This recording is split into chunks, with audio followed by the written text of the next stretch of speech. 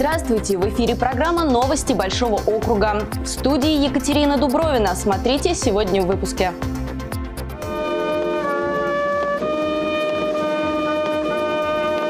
Почтили память героев. Депутат Госдумы Сергей Пахомов посетил Софринскую бригаду.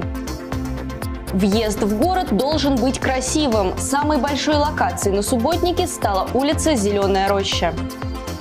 85 лет защищают и приумножают леса нашей страны. Российский центр защиты леса отпраздновал свой юбилей. Будь здоров! Всероссийская акция прошла в Софрино. Об этих и других новостях прямо сейчас.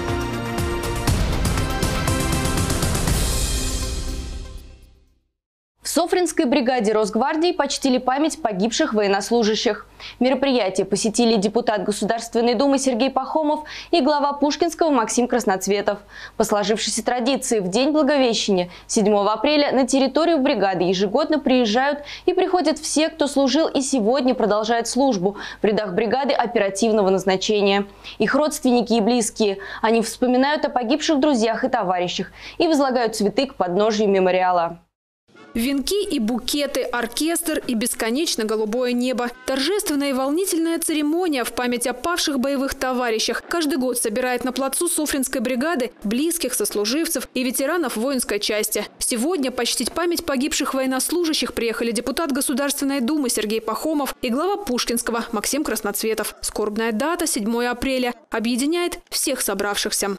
Это скорбная дата не только для воинов бригады, но и для всего личного состава Центрального округа национальной гвардии. 7 апреля 91-го на границе Азербайджана и Армении, спасая мирных жителей и прикрывая отход своих подопечных, в неравном бою с боевиками погиб заместитель командира роты, лейтенант Олег Бабак. А спустя 4 года, 7 апреля 95-го, в бою за селение Самашки в Чеченской республике погибли 11 военнослужащих бригады. За мужество и героизм, проявленный при исполнении воинского долга. Более тысячи солдат, сержантов, прапорщиков, офицеров награждены орденами и медалями, а четверо военнослужащих удостоены высокого звания героя. Глава Пушкинского Максим Красноцветов зачитывает слова благодарности от губернатора Андрея Воробьева. Служить Отечеству защищать мирное небо – профессия достойного глубокого уважения. Выбор настоящих мужчин и патриотов. Мы гордимся, что в нашем Подмосковье дислоцируется воинская часть с крепкими традициями и большими заслугами перед страной. Один из самых скорбных эпизодов. Военнослужащие по призыву выносят на плац фотографии погибших воинов. Манкаев Николай Федорович. погиб 7 января 2000 года в городе Грозный. 113 портретов, 113 имен и фамилий тех, кто отдал свои жизни за мир и покой людей в Азербайджане и Армении, Баку и Тбилиси, Нагорном Карабахе и Душанбе, а еще в Нахичеване, Вильнюсе, Северной Осетии, Дагестане и Чечне. Люди, которые прошли все горячие точки на территории бывшего Советского Союза и России. Четверо погибли, защищая жителей Донбасса. В память о них торжественные залпы, минута молчания, поминальная служба и возложение траурных венков.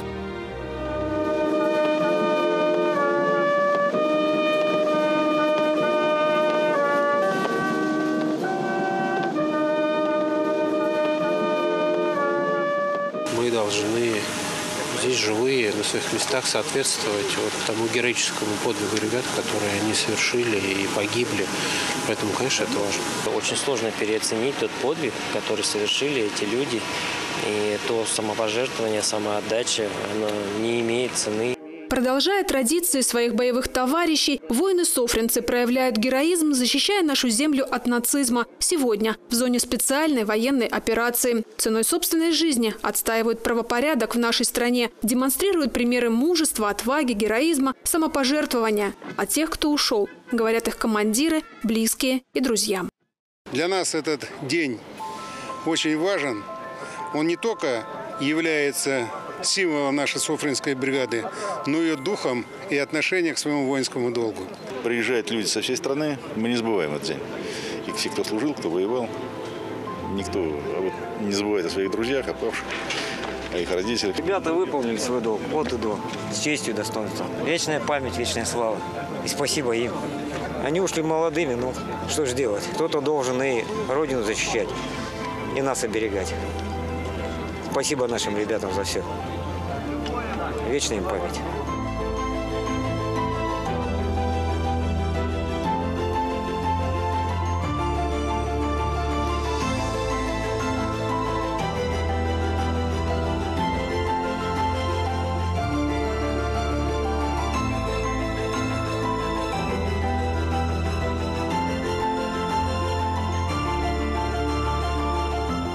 Юлия Постриганева, Сергей Денисов, Александр Корнеев, Мария Головачева.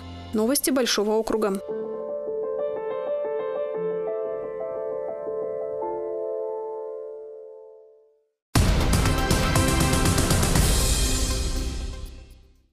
Один из въездов в Ивантеевку по распоряжению главы округа привели в порядок. Сотрудники коммунальных служб и нескольких управляющих компаний муниципалитета выехали на место и убрали обочину с обеих сторон дороги. Это самый большой участок в округе из тех, что определили для минувшего субботника. Ежегодно по всей Московской области проходит месячник чистоты и благоустройства. В апреле все муниципалитеты приводят в порядок.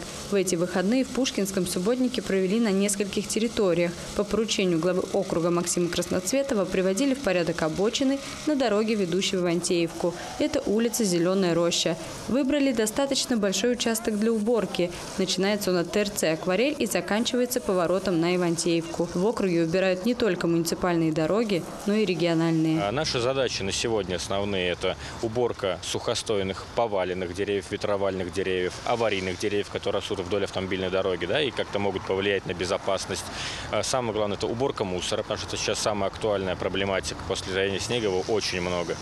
А уборка строительного мусора, покрышек. На субботнике задействовали 11 МКУ, 4 управляющие компании со всего округа. Весь участок поделили между ними, за каждой организацией закреплен свой. Убирали весь мусор вдоль дороги с обеих сторон и проводили опиловку деревьев. Использовали в работе также и дробилки. Спиленные ветки на месте измельчали. В начале въездной группы, напротив торгового центра, где у нас для ориентира акварель, причине головы мы планируем э, сейчас убрать аварийные сухие деревья поваленные, э, все это отсыпать грунтом завести и потом планируется в какой-нибудь акция высадка новых деревьев. В рамках субботника в Красноармейске утром приводили в порядок территорию ДК имени Ленина и третьей школы. Кроме того, убирали и центральную площадь. Везде собирали мусор, подметали и с помощью спецтехники помыли дорогу и тротуары, а также саму площадь.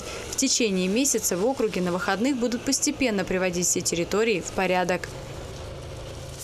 Евгения Коломиец, Владимир Парфенов, Юрий Добрунов. Новости Большого округа. Центру защиты леса исполнилось 85 лет. Во Всероссийском научно-исследовательском институте лесоводства и механизации лесного хозяйства собрались представители практически всех 43 филиалов Рослесозащиты. Поздравить федеральное учреждение приехал заместитель министра природных ресурсов и экологии России Сергей Анаприенко. Лучшему филиалу по итогам работы за прошедший год вручили новый автомобиль. Российскому центру защиты леса исполнилось 85 лет. Все эти годы федеральное учреждение защищает и приумножает леса нашей страны. Мероприятие по случаю юбилея прошло во Внилме. Поздравить Рослесозащиту приехал заместитель министра природных ресурсов экологии Российской Федерации Сергей Анаприенко. Я еще раз от всей души поздравляю коллектив Рослесзащиты, а также ветеранов, тех, кто только заступает на работу. Рослесзащита – это я считаю, призвание. И отрадно, что нынешнее поколение лесопатологов трудится с полной отдачей и вносит весомый вклад сохранения лесов. По видеообращению к поздравлениям присоединился и руководитель Федерального агентства лесного хозяйства Иван Советников. Он отметил, что Рослесозащита вносит весомый вклад в лесовосстановление, а также поблагодарил всех сотрудников за их труд. У нас практически 15 тонн основных лесообразующих пород находится э, на хранении, и при наличии любых э, природных э, катаклизмов мы можем беспрепятственно восполнять наши лесные ресурсы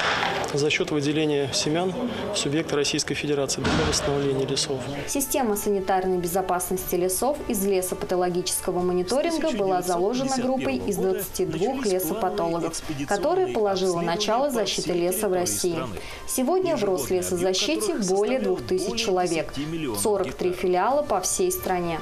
Основными направлениями деятельности Рослесозащиты являются государственный лесопатологический мониторинг, государственный мониторинг воспроизводства лесов, мониторинг состояния лесных генетических ресурсов, формирование и хранение Федерального фонда семян лесных растений. Ну, защитой лесов у нас в Российской Федерации занимается не только Рослесозащита, но и субъекты Российской Федерации, согласно их полномочий. Мы совместно с ними даем прогноз, мы даем рекомендации, они их выполняют. Поэтому у нас функции практически одинаковые. Сегодня на совещании присутствует большая часть субъектов Российской Федерации, департаменты по федеральным округам. Я хотел бы пожелать всем этот знаменательный день. Это не только юбилей Рослесзащиты, но и всех лесоводов Российской Федерации. Желать всем здоровья, самое главное, ну и больших успехов в труде. Зале собрались представители почти всех 43 филиалов Рослесозащиты. Благодарственными письмами и грамотами, а также почетными знаками отметили отличившихся сотрудников. Отдельно поздравили Центр защиты леса Тюменской области. Он стал лучшим филиалом по итогам работы за прошедший год.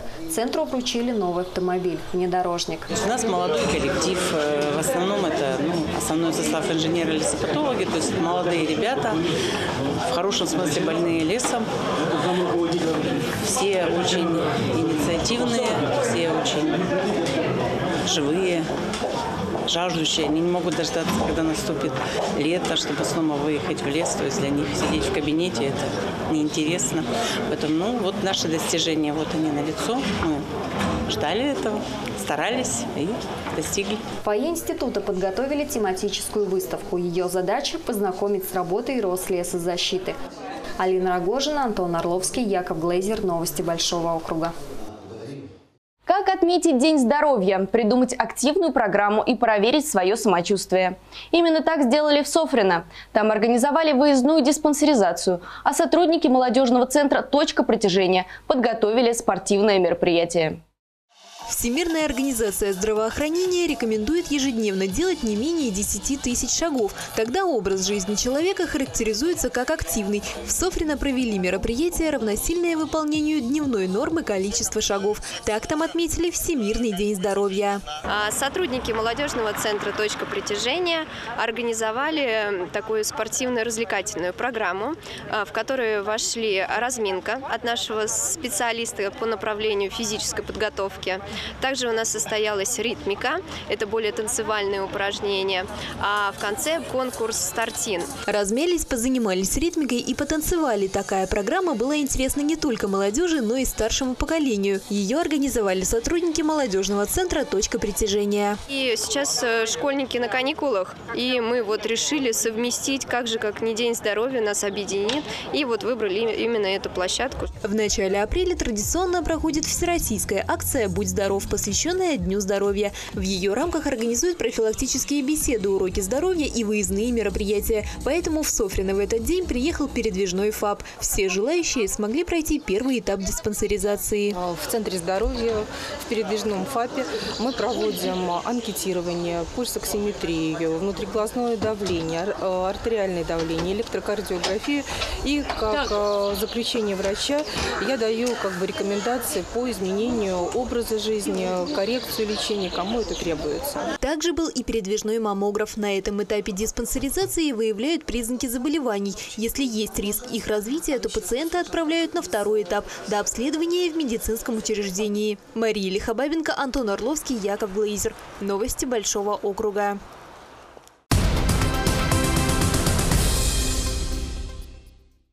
А сейчас предлагаю вернуться к одной из тем выпуска. Как убирались в округе выходные в нашей рубрике «День за днем».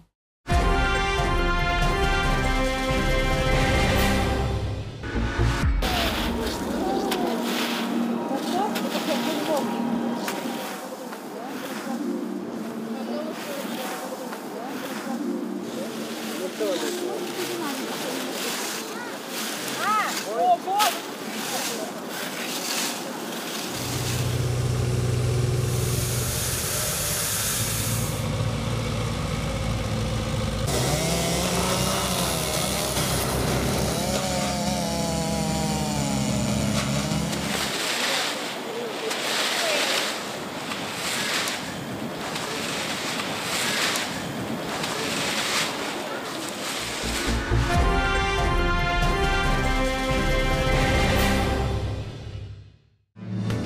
Тепло и облачно. Такая погода, по прогнозам синоптиков, установится на этой неделе в округе. Завтра, 11 апреля, в Пушкинском облачно с прояснениями. Днем до плюс 12, ночью от плюс 2 до плюс 6. Ветер юго-западный 3 метра в секунду.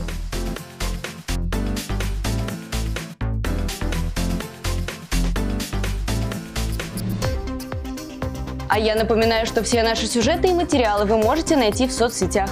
Во Вконтакте, в Одноклассниках и Телеграме. Также подписывайтесь на наш канал на Дзене. Кроме того, программа «Новости Большого округа» выходит и на Рутубе. И на этом у меня все новости на сегодня. С вами была Екатерина Дубровина.